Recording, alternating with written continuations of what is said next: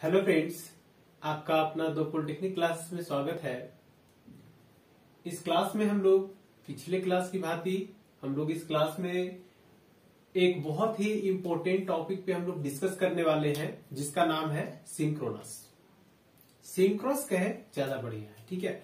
तो सिंक्रोस और आपका एक और टॉपिक है रिजॉल्वर ये बहुत ज़्यादा इंपॉर्टेंट है और एग्ज़ाम में बहुत बार आपका ये रिपीटेड है। मतलब कि ये इसके आगे अगर हम यहाँ अगर भी भी आई भी लगा देना, जितना भी लगा दे उतना कम है। इतना भी भी आई है। समझ में आ रही बात? तो सबसे पहले हम बात करेंगे सैक्रस होता क्या है। फिर सैक्रस के बारे में हम उसके बारे में हम लोग डायग्राम को समझेंगे और देन आफ्टर हम लोग वर्किंग को समझेंगे। ठीक है? तो चलिए हम बात करते हैं सैक्रोस पे। सैक्रोस और सैक्रो ये जो वर्ड है, देख रहे हो? सैक्रो सैंक्रो या क्या है? तो चलिए हम बात करते हैं इस टॉपिक पे। सबसे पहले हम लोग डायग्राम की तरफ़ पढ़ते हैं और समझते हैं कि ये है क्या। ये अद्भुत चीज़ जो आपके सामने दिख रहा है, कुछ समझ नहीं आ रहा है, नहीं? देखिए, हम स्टार्टिंग में ही मेज़रमेंट में हम एक बात का हमेशा ज़िक्र किए हैं कि हम जो भी टॉपिक शुरुआती दौर से जो हम पढ़ते आए हैं, वो केवल और केवल किस पर्पज से? तो कम्युनिकेशन के पर्पज से। और कम्युनिकेशन सिस्टम में जो जो इक्विपमेंट्स यूज़ होते हैं और उसमें जो जो कंपोनेंट यूज़ किया जाता है, वो सारे ब्लॉक्स के बारे में, उसके अंदर जो सर्किट रहते हैं उसके बारे में, या फिर उसके अंदर, उस सर्किट में जो जो एलिमेंट्स कनेक्टेड रहते हैं उसके बारे में हम लोग स्टडी करते हैं। तो सैक्रो जिस समय सिंक्रो आया, उस सिंक्रो जो होता है, ये भी आपका कम्युनिकेशन सिस्टम का ही पार्ट है। जैसे हम कहें कि कोई ट्रांसमीटर तो ट्रांसमीटर जो होता है, वो आप देखे होंगे जहाँ से सिग्नल का मतलब कि ट्रांसमिट किया जाता है और रिसीव किया जाता है। तो कहिएगा सर, वो तो हम लोग के पास भी है मोबाइल फ़ोन से भी करते हैं, लेकिन मैं इसका बात नहीं करता हूँ, जहाँ टावर होता है बड़े बड़े ट्रांसमीटर्स लगे हुए होते हैं, जैसे कि आप विविध भारती वगैरह ये सब का ले लें तो वो सब भी क्या होता है, वहाँ भी हमारा ट्रांसमिशन रिसिप्शन होता है स्टेशन मेनली हम बात करें स्टेशन का। तो वहाँ पे जो आपका ट्रांसमीटर होता है या रिसीवर होता है, ठीक है? तो वो देखिएगा, उसको कभी कभी उसको रोटेट करने की ज़रूरत पड़ती है। ये आपका ये आपका एंटीना सपोज़ इस तरह से है, आप इस बात को समझने का प्रयास कीजिएगा। बहुत इंटरेस्टिंग है ये आपका कहीं फिक्स होगा होगा ना? तो ये फिक्स होगा और ये आपका यहाँ से इस तरह से एंटीना आपका है, जहाँ से ये ट्रांसमिट कर रहा है। और एक दूसरे एंड पे एक और हमारा कुछ इस तरह से है रिसीविंग एंटीना जिसके मदद से हम रिसीव करते हैं। ये लो। ठीक है?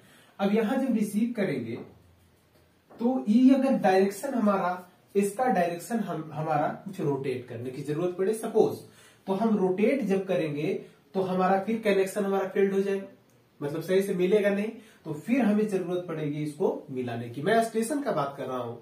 आपके घर में जो डिश जो आपका रहता है, मैं उसका बात नहीं कर रहा हूँ। उसका, उसमें भी होता है, लेकिन वो आप तो बहुत छोटा सा रहता है, जिसको आप इजिली आप रोटेट कर सकते हो, हाथ से भी आप उसको हिला डुला सकते हो। लेकिन मैं उसका बात नहीं कर रहा हूँ। मैं उसका बात कर रहा हूँ जो स्टेशन पे होते हैं बड़े बड़े आकार के होते हैं, बड़े साइज़ के। मैं उसका बात कर रहा हूँ तो वहाँ पे रोटेशन देना है रोटेट करना है। उतने बड़े आकार का साइज़ का हम रोटेशन कैसे कैसे रोटेट करेंगे? पॉसिबल नहीं है, बहुत दिक्कत होगी। तो वहाँ पे रोटेशन की बात आएगी तो हम यूज़ करेंगे सिंक्रो का। इसके मदद से हम लोग उसको रोटेट करेंगे। ठीक है? इतनी बातें तो हम समझ में आ गई। अब हम बात करते हैं इसके इंट्रोडक्शन पे देन आफ्टर हम लोग पहुँचेंगे इसके डायग्राम में। ठीक है? तो चलिए बात करते हैं सबसे पहले कि ये होता क्या है? क्योंकि हम पढ़ रहे हैं कौन ये आपका कौन सा सेक्शन है? तो आपका ये यूनिट फाइव यानी ट्रांसड्यूसर एंड सेंसर तो ये भी एक प्रकार का ट्रांसड्यूसर है, ठीक है? तो ये डिस्प्लेसमेंट को इलेक्ट्रिकल में उसको कन्वर्ट करता है। क्या करता है? डिस्प्लेसमेंट को और किस तरह से डिस्प्लेसमेंट को? तो यहाँ रोटेशन की बात करें मतलब एंगुलर डिस्प्लेसमेंट एंगुलर डिस्प्लेसमेंट को इलेक्ट्रिकल क्वांटिटी में करंट में, वोल्टेज में, इस फॉर्म में हमारा कन्वर्जन करते हैं। ठीक है? तो सबसे पहले हम बात करेंगे पॉइंट नंबर वन की। It is a type of transducer क्या बताए? ट्रांसड्यूसर विच ट्रांसफॉर्म जो बदलता है an angular position of the shaft into an electrical signal यही बात अभी हम बताए, जिसके बारे में पॉइंट नंबर वन वो वो बोल दिया। ठीक है? तो इसमें हम कन्वर्जन किसके किसके बीच में करेंगे? तो सबसे पहला हम एंगुलर पोजीशन ऑफ़ साफ्ट ये साफ्ट है क्या? ये साफ्ट एग्जैक्टली इसको हम कहेंगे। ठीक है? और उसका जो पोजीशन रहता है, उसको रोटेट करवाते थे ये एंगुलर पोजीशन ये जो मूव कर रहा है, इसी को साफ्ट कर रहे हैं। और इसका एंगुलर पोजीशन को इलेक्ट्रिकल में मतलब करंट में हम कन्वर्जन करते हैं। ठीक है? नेक्स्ट पॉइंट पे हम लोग बढ़ते हैं। It is a type of rotary electrical transformer देखिए, दूसरा पॉइंट बहुत ही इंपॉर्टेंट बात कर रहा है। ये क्या कह रहा है कि ये एक प्रकार का रोटरी इलेक्ट्रिकल ट्रांसफॉर्मर है। अब चूँकि इस टर्म को आप पकड़ लीजिए ट्रांसफॉर्मर मतलब इसमें दो वाइंडिंग का होना ज़रूर, ज़रूरी है। एक तो आपका प्राइमरी वाइंडिंग होगा और दूसरा आपका सेकेंडरी वाइंडिंग होगा। होगा ना? तो यहाँ पे प्राइमरी वाइंडिंग कौन सा होगा? सेकेंडरी वाइंडिंग कौन सा होगा? अब आइए डायग्राम पे।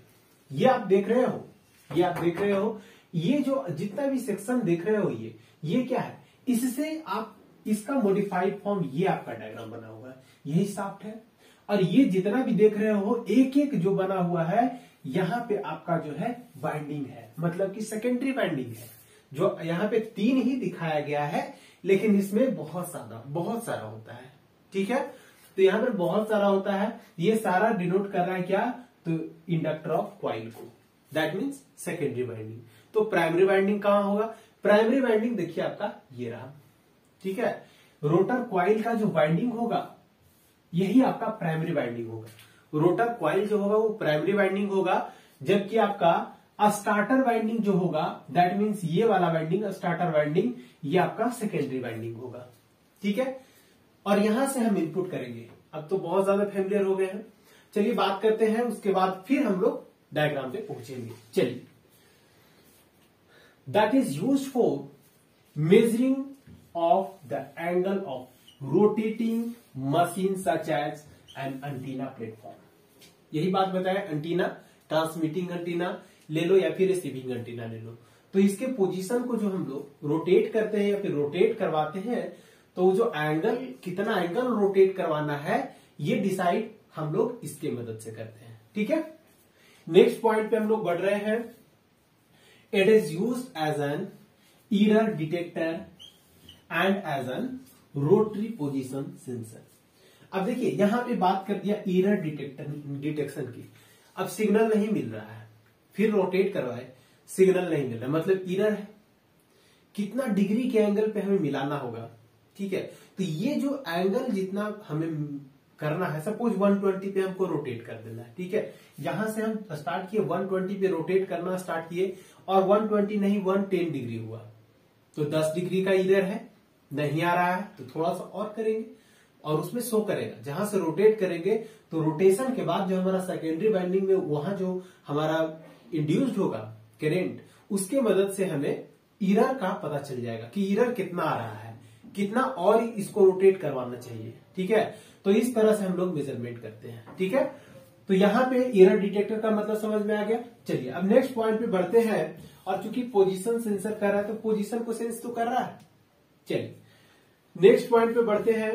The error occurs in the system because of the misalignment of the shaft shaft का मिसअलाइनमेंट के कारण ये हमारा ईरर अकर हो रहा है। अभी हम बताएँ कि अगर इसका मिस अलाइनमेंट का बात बोला जा रहा है मिस अलाइनमेंट ये जो आप देख रहे हो, यही आपका अलाइनमेंट ये आपका फिक्स है। इसी से हम रोटेट करेंगे और इसी से हम एंगल का मेज़रमेंट करेंगे। ठीक है? उसको हम अलाइनमेंट कर दिए।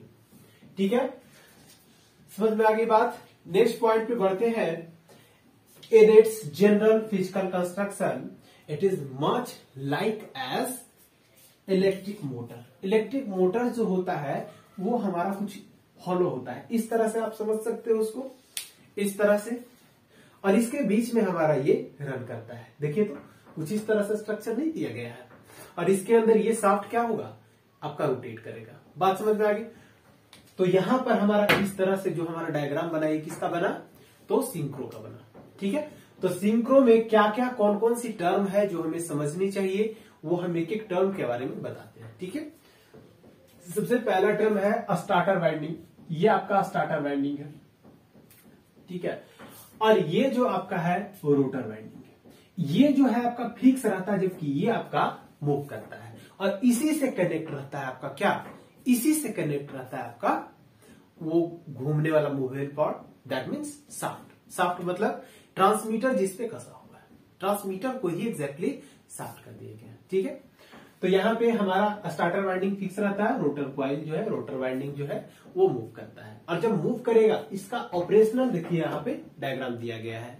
यहाँ पे जैसे आप देख रहे हो, ये रोटेट करेगा, जैसे जैसे रोटेट करेगा, अगर सपोज़ रोटेशन कुछ इधर डायरेक्शन में मिल गया तो ये अब यहाँ से इधर की ओर जाएगा। जब इधर की ओर जाएगा तो इस क्वाइल के इफ़ेक्ट के कारण यहाँ पे हमारा इस सेकेंडरी वाइंडिंग में क्या हो जाएगा? करंट हमारा इंड्यूस हो जाएगा। अब जैसे जैसे इसके क्लोजर जाएगा, वैसे वैसे हमारा क्या होगा? हमारा और ज़्यादा उसमें इंड्यूस्ड होगा करंट तब हमें पता चल जाएगा कि इसमें ज़्यादा करंट इंड्यूस हो रहा है। मतलब कि ये जो है आपका क्रॉस कर रहा है। इसके इसके क्रॉस कर गया, इसके पार कर गया। ठीक है? तो कितना पार किया? तो थीटा तो पार कर भी किया। और साथ में ये 120 डिग्री को भी क्रॉस कर लिया। समझ में आ रही बात? तो 120 degree plus theta then after again हम लोग करेंगे तो अलाइनमेंट हमारा यही फिक्स है। फिर से हम इसके जब पार जाएँगे तो इसमें हमारा करंट इंड्यूस्ड होना स्टार्ट हो जाएगा। जब इसमें इंड्यूस्ड होगा तो फिर हमारा रोटेशन के बाद हमारा पता क्या चलेगा? Theta plus 120 degree plus 120 degree that means 120 120 कितना हो गया? 240 हो गया। और 240 हमारा इस तरह से वहाँ पर मेजरिंग में हम एंगल मेजर कर लेंगे, ठीक है? तो इस तरह से हमारा ये वर्क करता है। इसी के बारे में यहाँ पे मेंशन किया गया है। चलिए, बात को समझते हैं।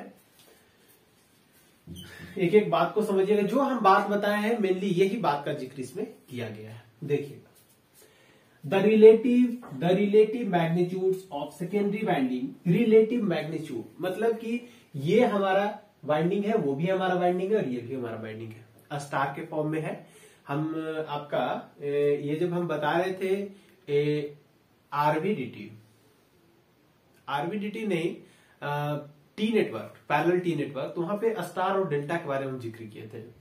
तो स्टार और डेल्टा के बारे में जो स्टार जो था, हमारा क्या था? तो हमारा स्टार जो था, वो टी कनेक्शन था, और वही उसी को हम स्टार क्या टी के जैसा नहीं दिखाई दे रहा है? स्टार के जैसा नहीं दिखाई दे रहा है वो? तो स्टार के जैसा बिल्कुल दिखाई दे रहा है। ये दोनों को अगर मीट कर दें हम, ये दोनों को मीट कर दें तो ये हमारा सीरीज़ आर्म और ये वाला हमारा संट आर्म तो स्टार के जैसा हो गया ठीक है? हम बात को समझते हैं। ये क्या है सेकेंडरी वाइंडिंग और चूँकि इसमें ज़्यादा, इसमें कम मतलब कि क्या हो रहा है? रिलेटिव इंड्यूस्ड हो रहा है करंट इसमें। तो इसी रिलेटिव की बात किया जा रहा है। Relative magnitude of secondary currents are measured and use to determine the angle of the rotor relative. ठीक है टू द स्टार्टर कितना स्टार्टर के कंपेरिजन में कितना वो रोटेट किया? ये जो आपका दिखाई दे रहा है स्टार्टर इसके कंपैरिजन में कितना ये रोटेट किया? तो एंगल हमें मिल गया एंगल हमें फाइंड हो गया। और चूँकि इसमें हमारा जो सेकेंडरी बाइंडिंग है, उसमें करंट इंड्यूस होगा तो जिसमें ज़्यादा होगा, वहाँ से हम एंगल मेजर कर लेंगे। ठीक है? और इसी को दूसरे भाषा में बताया गया है। और the currents can be use to determine directly derive a receiver synchro. That will rotate in unison with the synchro transmitter. अब देखिए, यहाँ पे एक टर्म यूज़ किया गया है। यूनिसन यूनिसन क्या है? यूनिसन कहने का मतलब कि अगर ट्रांसमीटर का डायरेक्शन अगर रोटेट करके इधर कर दिए हैं पहले ये पोजीशन था, अब ये पोजीशन हो गया। तो रिसीवर का भी डायरेक्शन जो है, वो कुछ इस तरह से हमारा यूनि डायरेक्शन यूनिसन मतलब अगर इसका इधर है तो इसका भी इधर होना चाहिए। तभी तो ये ट्रांसमिट करेगा तो इसको कैच करेगा रिसीव करेगा। बात समझ में आ रही है? तो इस तरह से वो यूनिसन डायरेक्शन में होता है। ठीक है? नेक्स्ट है हमारा the primary winding of the transformer fixed to the rotor. Rotor के कंपेरिजन में हम कहें तो प्राइमरी बाइंडिंग हमारा फिक्स होता है। तो क्योंकि रोटर देख रहे हो, यही तो है। इसी में तो हमारा प्राइमरी बाइंडिंग क्या है? फिक्स है? Is excited by an alternating current by electromagnetic induction causes current to flow in three star connected connection. Star connection हम बताए थ्री कनेक्टेड स्टार कनेक्शन ये क्या है? थ्री स्टार कनेक्शन में? यहाँ पे तो तीन का बनाया गया है, हालाँकि और भी ज़्यादा होता है।